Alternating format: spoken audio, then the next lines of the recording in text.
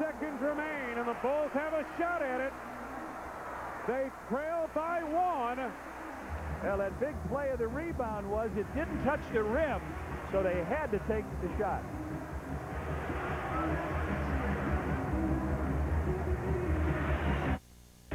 Five point nine seconds remain in regulation. The Bulls are trailing by one. And the Bulls will have the ball when we resume. The shot by Steve Smith didn't touch the iron. And that's why, as Fred mentioned on the way out, the Hawks had to get a shot off. Right.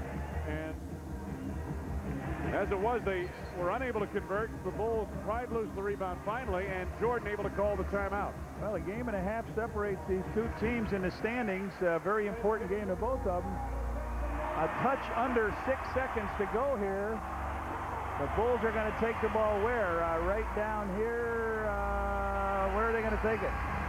Back here in front of the bench. They've got a timeout. They've got a 20. Everybody up on their feet there. It'll be Toni Kukoc on the inbound.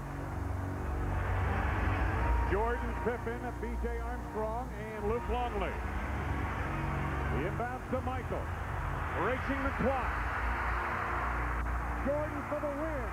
Yes! I did it again! He is now back! Holy mackerel!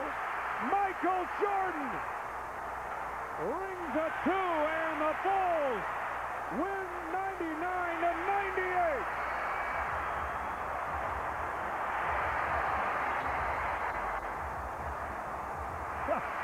Oh, lordy, lordy, lordy. No question about it. Take a look at it again. It was Michael Jordan all the way and It was vintage Jordan.